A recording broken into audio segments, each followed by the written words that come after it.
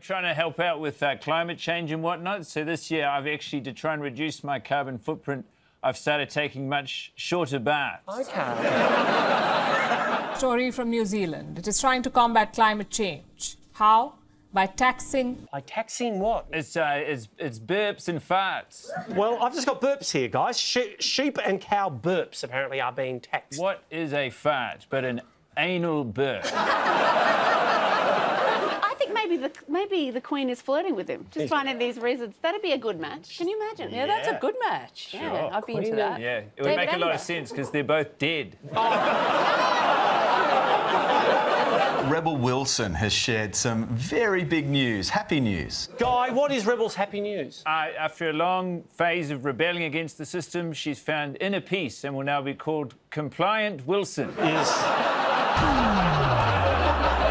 So what happens next? Guy. You tell us, Mr. Mentalist. We've got it written here. Australia's Comm Games uniforms have just been unveiled. Who's the designer? Uh, Guy. a first year Polytechnic That student. is